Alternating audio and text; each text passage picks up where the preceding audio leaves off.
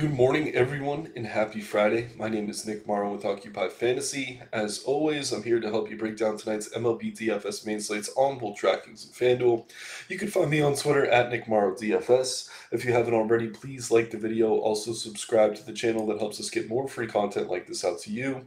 If you're not a member of Occupy Fantasy, check the links in the description below. As a member, you get access to the models you'll see me using throughout the video. We also have a private Discord server full of DFS pros to help you improve your game a single lineup builder, a multi lineup builder, and we also have the daily plug article for MLB, of which I'm a contributor, where we will feature our top bats, arms, and stacks for each main slate. So we get a nice 11 game slate here on this Friday a couple other spots to keep an eye on, but nothing too major. Uh, so really, honestly, a solid slate size. I mean, we've seen some of these 14, 15 game slates. Um, obviously not ideal as far as these videos go. It's really tough to condense them to a half an hour. Um, and also, I mean, there's just so many options. Sometimes it's tough to really parse through them. Um, but I do like the 11 gamers. I think this is kind of a sweet spot for me personally. Um, but yeah, let's get into it here. I do have Mookie Betts pulled up. I just consider him to be one of the best bats on the slate. That's why I want to target him here. Um, Andrew Heaney, he's facing uh, Betts is facing Texas. Uh, Heaney, decent arm, obviously has some K upside, but he's been extremely volatile this season. Um, and tonight he's taking on that Dodgers offense, who has a lot of righty power. Um, I wouldn't be afraid to play the lefties there either. Um, but if I am stacking Dodgers, Betts is going to be a priority for me. One of the hottest hitters in baseball right now, so really no surprise there. Um, but I'm not going to go player by player. We're really going to go team by team. I have a notepad file opened up um, where I will list my favorite arms and stacks so we can recap at the end of the video. If you are using the Occupy Fantasy model, just make sure you have DK's main or FanDuel main selected. Um, there's a 220 matinee in Chicago, then a couple 640 games. Obviously, we don't want those to be included in our data here. So um, we got the stacks up, we got the pitchers up, and then if we want to dig deeper into, into a specific stack, we could pull up the batters page. Um, but that's kind of a secondary thing for this video. But let's get into the slate here. Uh, first game on the board, we have Alec Marsh and the Kansas City Royals taking on Clarke Schmidt and the New York Yankees in New York. So, uh, Yankees have been terrible. Um, a few of you know I'm a Yankees fan. I've been miserable uh, this season watching this team and listening to the excuses the front office has been making. But tonight they're getting a really good matchup, and it's kind of undeniable. Alec Marsh on the hill for the Royals comes in, allowing a 353 ISO, 436 WOBA, two opposing hitters this season. Um, and yeah, I mean, the Yankees outside of Torres and Stand have been mostly terrible. Anthony Volpe has been half decent. We saw Franchy Cordero get the call up again. Uh, he had a home run last night, but he's very, very much boomer bust. But yeah, I'm not surprised to see the Yankees outside the top 10. I do consider them a viable stack here, ranking seventh in WOBA, third in team total. Um, but it's really, really tough for me to call them a top priority. Um, I will jot them down. Uh, Burst Marsh and KC, uh, but they're very much boomer bust. And while it's obvious they haven't been very good, they should be a little bit better returning to Yankee Stadium. This is an excellent matchup, and for DFS purposes, they're pretty cheap and relatively low owned, so I don't mind them at all here. Um, like I said, I don't think you really have to discriminate righties versus lefties. I would prioritize Torres and Stanton, uh, but I have zero interest in Marsh on the other side. Um, on the hill for the Yankees, we have Clarke Schmidt. So Schmidt, uh, once a highly regarded prospect, um, kind of lost a lot of that steam. Um, but yeah, he's been a lot better lately. I mean, the issue with Schmidt for much of his career, albeit a short one, is that he struggles to get left handed bats out. Um, he seems to have corrected that over his last few starts, and he is very cheap today at 6,200 on DK. 8K over on FanDuel is totally reasonable as well. Uh, so yeah, I don't mind Schmidt here. He's around a 23% K rate, taking on a Royals offense that did just get Sal Perez and Bobby Witt Jr. back, but also a Royals projected starting lineup that has around a 24% K rate. Again, against um, right-handed pitching this season. So I don't mind Schmidt versus the Royals.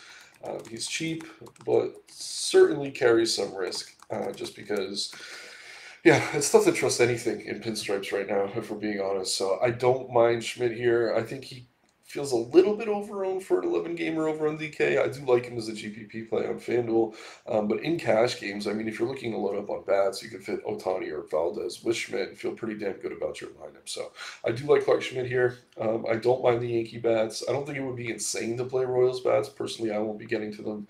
Uh, so let's move into the next game on the board. We have Alex Wood and the San Francisco Giants taking on Jake Irvin and the Washington Nationals. So Wood not really popping in the model, no surprise there. Irvin maybe the worst arm on the slate in terms of OF index. I think I'm sorting by ownership, so let me just correct that really quickly. Yeah, so Schmidt not nearly as high in the model um, as maybe I described. He is drawing that ownership though, and that's mostly a price thing. So I do think he's about where he should be here. Uh, but yeah, as for Alex Wood, decent arm. Um, not terrible, but also very inconsistent. Um, coming off a start in which he only won three innings, obviously you don't like to see that. And while this Nationals offense isn't all that dangerous or intimidating on paper, they only strike out 18.6% of the time against left-handed pitching this season. Uh, so there's just not a lot of K upside here for Wood. So um, I respect Wood enough to probably not to to not want to get to the Nationals bats, um, and the model agrees with me there. Uh, but at the same time, I really don't have much interest in rostering him as a starter.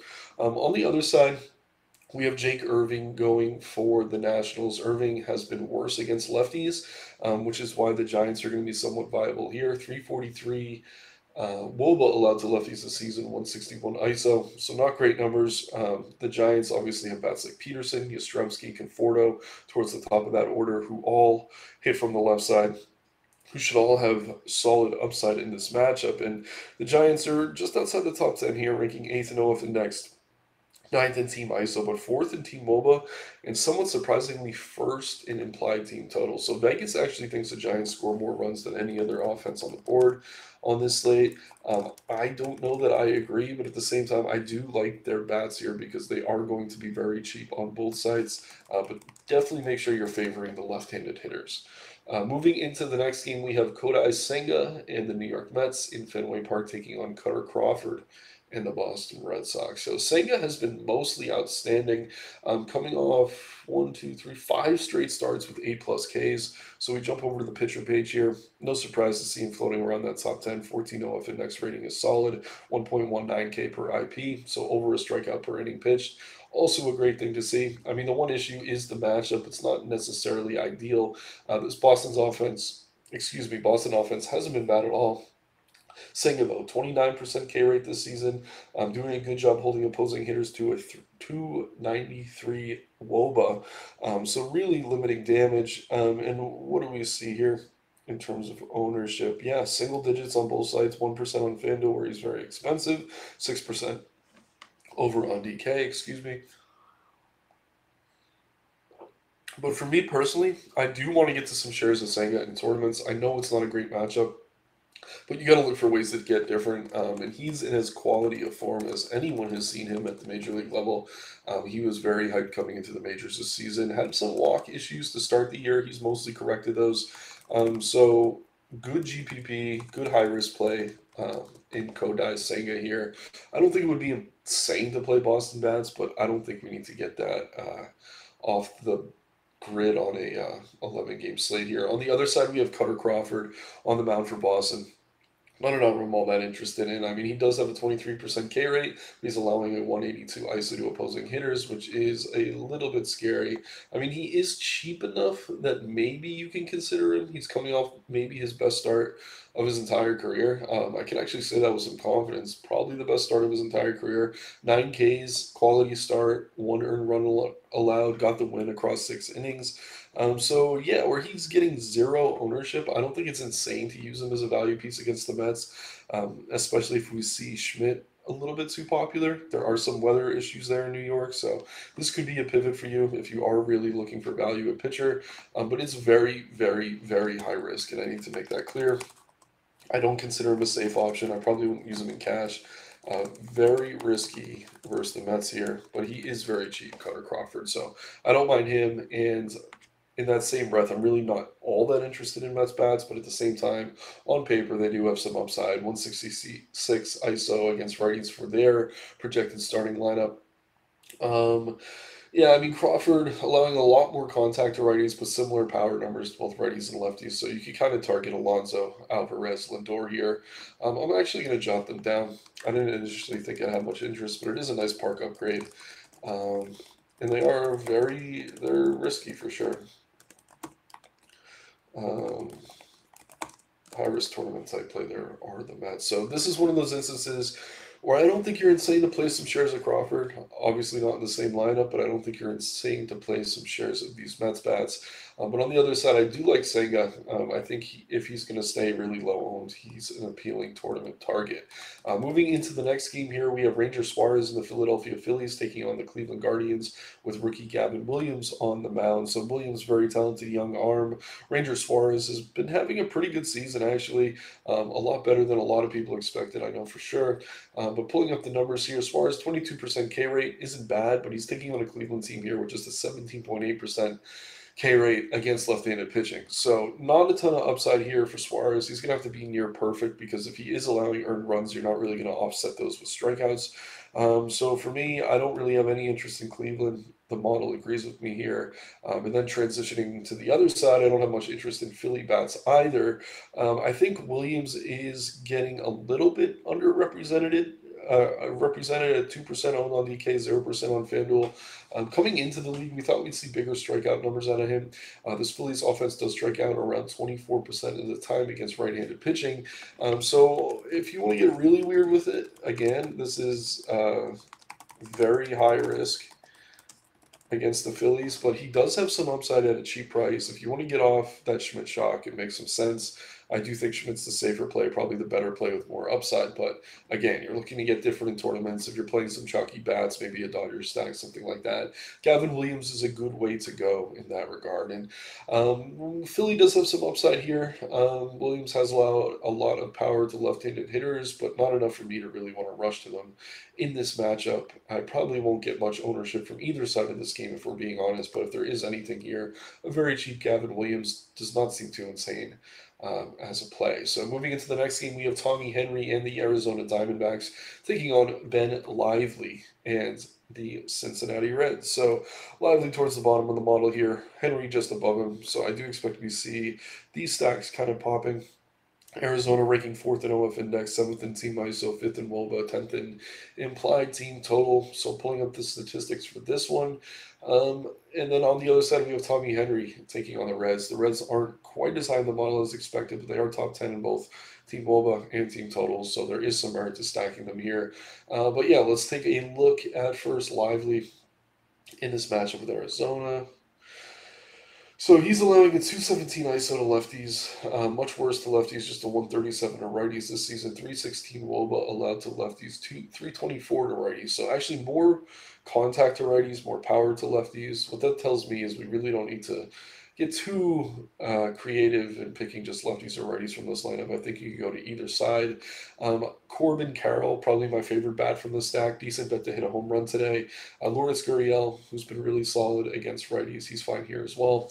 Honestly, this order, one through six, we're talking Perdomo, Marte, Carroll, Walker, Gurriel, Longoria. They all have some appeal to me. And if you really need to lower the price of the stack, Alek Thomas is projected to bat ninth here. This team is a 170 ISO against righties. Um, not as a team, but this projected starting lineup I'm looking at. So I really do like them here. I could see their ISO rating climbing throughout the day as well. So um, nice little spot here for the D-backs. Um, first Ben Lively. And with this game being in Cincinnati, it's obviously a nice park upgrade for them here as well. On the other side with Tommy Henry, so this is interesting. Elly De La Cruz, obviously one of the highest regarded prospects in baseball right now. He has not been hitting lefties at all. Just an 054 ISO against lefties, 261 WOBA. Um, and if we jump over to the batters page, I don't really consider Cincinnati to be a top, top stack, but they are at least worth talking through here. Um, McLain and Steer would be the priorities, then India and Encarnacion Strand. Um, I would skip Elly, and I know it sounds insane. This guy could get on first with a walk and steal three bases. Um, but at the same time, I mean, if there is going to be an edge here in stacking Cincinnati, I think we find it leaning more on the righty bats. I wouldn't mind Votto in the lefty lefty matchup, but like I said, Cruz, who is a righty, um, just want to correct myself there, has been terrible against left handed pitching, near 40% K rate against lefties so far in the major league. So, I think the Reds are okay. Um, if you want to get a little bit weird with it, maybe skip Elly. Um, so versus Henry, maybe skip Elly. I'm to write that in my notes here. Um, and yeah, they're pretty high risk though, because if they do get into this bullpen, um, Arizona's bullpen not great, but they do a decent job playing matchups. They could make this a much tougher spot than it looks like on paper against just the starting pitchers. So, uh, decent spot there for bats on both sides. Really no interest in either arm. Moving into the 8 o'clock games now, we have Tony Gonsolin and the Los Angeles Dodgers taking on Andrew Heaney and the Texas Rangers. So, Jumping back over to the stacks page, I mean, Gonsolin's been okay. Um, he's priced below 8K on both sites. I don't think it's crazy to maybe get to him. Uh, me personally, though, uh, just not really enough upside. Uh, really hasn't shown much of a ceiling at all this season. Uh, not to mention, this is a pretty terrible matchup here against Texas, who is one of the better offenses in baseball. Certainly one of the better offenses in the American League in this interleague matchup. So, um, just taking a quick look here. Yeah, Texas not really popping. Good to see. Uh, Gonsolin not really popping. Good to see. I kind of consider that matchup a wash. I respect both sides enough not to want to get exposure there. Um, but on the other side, we have a much more interesting situation. We have Heaney, um, whose K rate's actually down this season more than 10%, 35% K rate last year, just 24.9% this year. Um, so not the same upside, obviously not drawing the ownership you would in seasons past, just as an upside play. Uh, getting a little bit of ownership, but not enough to really even consider him. Against the Dodgers, I just have zero interest, honestly. I mean, the K Rate's down. The Dodgers don't strike out much against lefties. Obviously, a massive, massive upside here for these bats. And no surprise at all, the Dodgers are the top stack on the board. We're looking at aggregate ownership here and 57% on DK, 48 over on FanDuel. That isn't terrible. Um, so for me, the Dodgers are the best bats on, on the slate. Um, certainly the best stack. Um, we're going to have to favor the right-handed hitters here. Um, but yeah, guys like Muncy and Freeman are pretty much matchup proof. I wouldn't mind getting to them, but if we're talking priorities, Mookie Betts is number one, followed by Will Smith, then JD Martinez. And if Chris Taylor makes the lineup here, he's very cheap on both sides, plenty of upside against the lefty. He is a pinch hit risk if the Tigers do go, or Tigers, Rangers do go to a righty in their bullpen. Uh, but at the same time, really, really love the Dodgers here. Definitely lean on the right handed bats, but if you're looking to get a little bit different, mix in Muncy or Freeman. Um, probably going to want both uh, using up roster spots, but they are going to allow you to get a little bit different in the field if we do see this ownership climb on the Dodgers. But Dodgers, best stack on the slate, pretty confident saying that. All right, so just to recap that game, no real interest in Texas bats or Gonsolin. Really, really love the Dodgers bats. No interest in Heaney. Um, next game here, we have the Atlanta Braves with Mike Soroka on the mound taking on Freddie Peralta and the Milwaukee Brewers. Uh, Soroka's still very cheap, pretty talented arm, but he's working his way back from an injury. We really haven't seen any good games out of him, except for one start. So I'm really not all that interested in Soroka here. Um, decent spot for Milwaukee, not really what I'm rushing to get to them. And then we have Freddie Peralta on the other side, who is a very talented arm.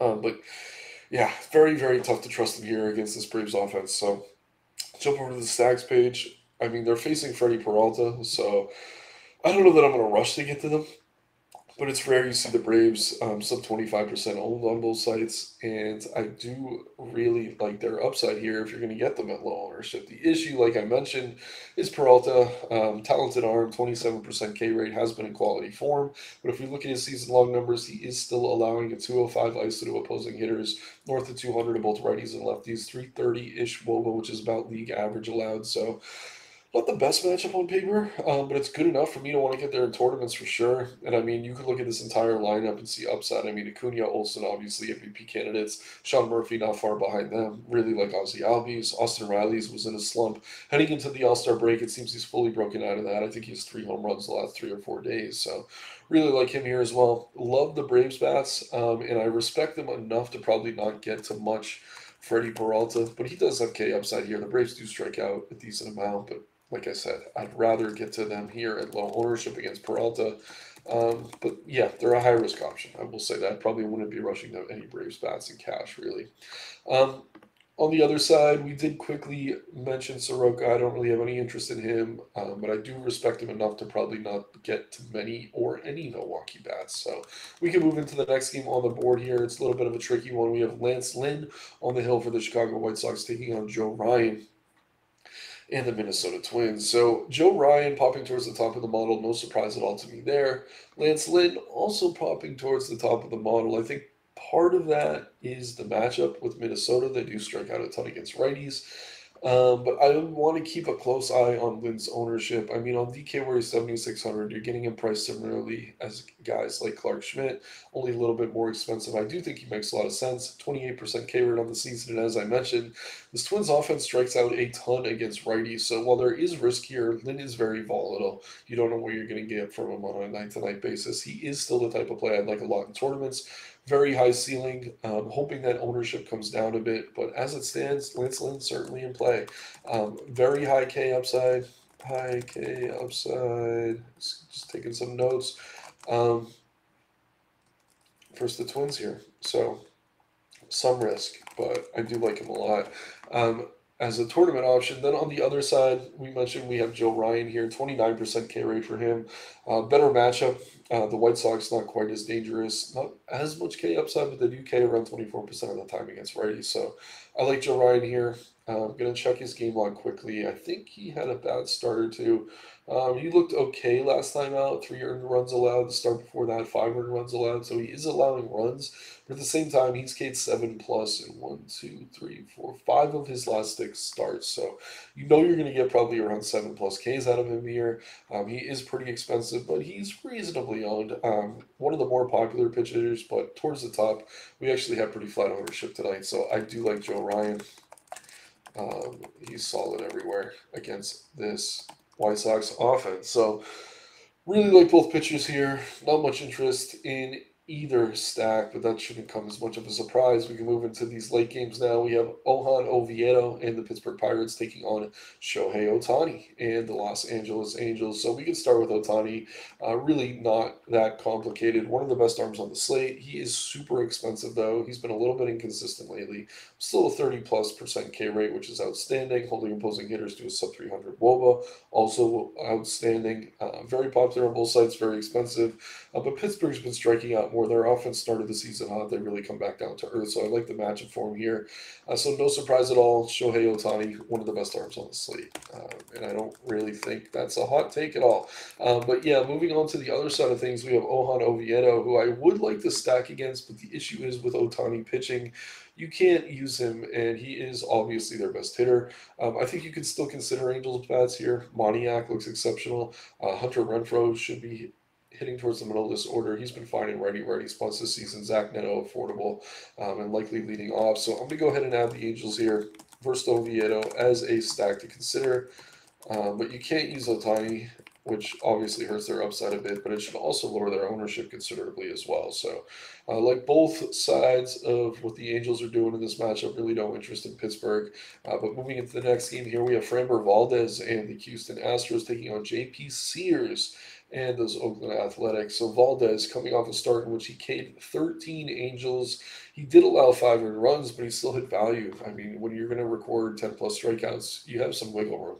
Um, he's expensive on both sides, but he's in an excellent spot here against this Oakland offense. I know the A's have been a little bit pesky over the last few slates, but we look at their lineup here. I mean, they're pretty terrible against lefties. I mean, we're dealing with very small sample sizes, but just a 290 WOBA for their projected starters against lefties. Valdez, 26% K rate, which is up from last season. Um, and these A's K around 25% of the time against left handed pitching. So Valdez, no surprise at all probably the best arm on the slate if we're just talking points of high floor and high ceiling. Going to be very popular as a result. Um, excellent everywhere, though. Really, really do like Framber Valdez. If I'm going to eat chalk, it's usually a pitcher. Probably would probably uh, I would probably go to Valdez over Ohtani. Stumbled over my words there because it is a tough decision, um, especially if we're going to see Valdez higher own. But I do like the matchup um, for him better, and he is in exceptional form right now. So love Valdez, zero interest in Oakland bats. Then on the other side, we have JP Sears, who does have some K upside, but I still have no real interest in him. Um, checking the model here, Houston just outside the top 10 in most categories, or just inside it, most categories rather. Ninth in OF index, sixth in team ISO, 14th WOBA, 16 total. Um, they've been pretty inconsistent. We saw some of their bats come alive last night. I think Bregman finally hit a home run.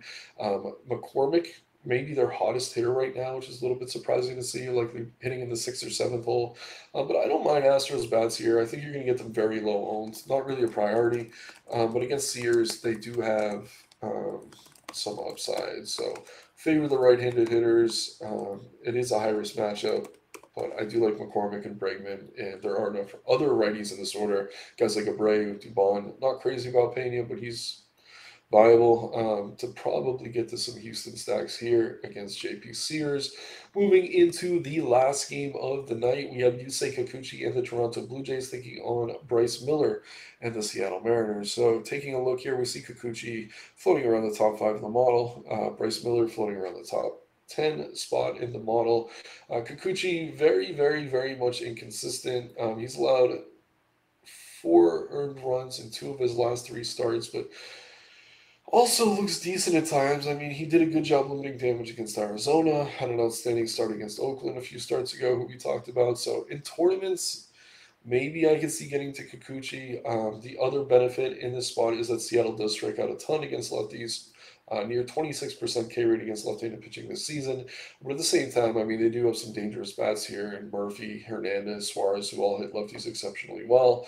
Uh, Dylan Moore and Pollock towards the bottom of the order. Not exciting plays, but very cheap with upside. So this might be one of those other spots where I consider both sides. I probably get to Kikuchi before the Mariners, but the fact that they're ranking fourth in team ISO tells me there is at least some viability here. Um, so I'm going to go ahead and write down both sides of this one. Mariners versus Kikuchi high risk, favor right handed hitters, and then Kikuchi against the Mariners, high risk, um, but cheap. High risk, cheap. Okay. Um, then on the other side, I already mentioned Miller floating around the top 10. I don't really have much interest in him. 24% K rate. The Blue Jays K only around 20% of the time against right handed pitching. So he's been decent, and I do respect him enough to not be rushing to Blue Jays bats here. But at the same time, I really don't have much interest in Miller, um, who is 9,100 on both sides. If he was say 8K, I'd have a little bit of interest, but at 9K, there are better arms for cheaper. Um, and then as far as Toronto bats go, really not seeing them pop all that well in the model. Um, Miller allowing base runners but not allowing a ton of power, which certainly limits their upside here. We see a very low team, very low implied team total for them. So really not something we have to rush to get to. So let's do a quick re- recap of the slate here. For an 11 game slate, a lot of arms I like and a lot of stacks I like. We'll start with the arms. Uh, Framber Valdez against Oakland, outstanding. Really, really like him here. Going to be chalky, but he's just an excellent option. Clarke Schmidt against the Royals, some risk, but he's done a better job lately getting those lefties out, so the numbers should start to flat for him as far as splits are concerned. Very cheap on both sides, but keep an eye on his ownership. If he's one of the higher owned pitchers on the slate on DK. I can see pivoting to some of the other value options we're about to discuss. Uh, we have Ohtani here, whose name I accidentally spelled wrong against Pittsburgh. Uh, you know what kind of upside you're getting out of him. This is an offense not very familiar with Ohtani, um, so I can see him having a massive game here at home in Los Angeles. Yeah, no surprise there. Not really a hot take. Love Ohtani as an arm. Joe Ryan against Chicago looks good everywhere. Lance Lynn in the same game a lot cheaper, but also a lot riskier, but also a ton of K upside. So one of my favorite tournament plays tonight. Wouldn't mind using him over Clarke Schmidt if he is lower owned, but I think both those guys are going to be popular. Um, but again, some riskier. Lane is very inconsistent, but one of the higher ceilings on the board, point per dollar. Kodai Senga, another high risk option I consider against Boston. Very risky, but he's in quality form. Kutter Crawford, similar situation, but say for two or three K cheaper. Um, riskier even than Senga or Lynn, but also uh, plenty of upside against this Mets team, so don't mind Crawford there. Williams, we haven't really seen the K metrics out of him that we were expecting when he got promoted. Um, very high risk here against Philly, but if he's going to be unknown, I don't mind him. And then Kikuchi has upside against Seattle, but he's very much boomer bust. Um, wouldn't shock me if he did well here. Wouldn't shock me if he struggled, and that's why we have the bats featured for them as well. Um, so segueing into top stacks here, the Dodgers against Heaney, probably my favorite on the board. No surprise there. Keep an eye on their ownership. They seem a little bit lower owned than expected, um, but Dodgers definitely my favorite stack. Giants for Sermon, favor the lefties. Um, we have the Angels versus Oviedo. Uh, their upside's kind of capped because you can't use Ohtani, but they're going to be low owned as a result. Don't mind them. Mickey Moniak stands out as maybe a one-off bat if you're not stacking Angels but want to get something from that game. Um, I do like the Braves against Peralta, but Peralta is in good form, so that's a high-risk play. Uh, but if you're getting the Braves uh, sub 25% aggregate ownership on both sides, that makes them appealing. Um, the Astros are fine here against JP Sears. Uh, the Yankees look good here against Marsh. They've been terrible though, so I'll call them boomer bust. Um, only really have interest in them if they stay low owned. The Mets against Crawford. We talked about Crawford being a decent arm with upside. Um, he's also volatile, so you could get to the Mets. D backs for Ben Lively. They look good here. Lefties have a little bit more power, but the righties have been getting more contact. So both sides of the plate look fine against Lively. Uh, the Reds, we have Henry. If you want to get a little different, maybe skip a popular Elly De La Cruz. He's been really, really struggling against left-handed pitching. High risk option here, um, but I do like the Reds. Uh, definitely lean on the righties towards the top of that order, though. Um, then the Mariners against Kikuchi, obviously a very high risk boomer bust type play. We consider Kikuchi as an arm. We also consider the Mariners bats in high risk tournaments, but definitely don't want them in the same lineup. Um, so nice 11 game slate tonight. Thanks again, everyone, for tuning in. My name is Nick Marro with Occupy Fantasy. You can find me on Twitter at Nick Marro DFS. Like the video, subscribe to the channel, check the links in the description below to sign up to Occupy today. Let's have some fun tonight, everyone, and make some money. Take care and good luck.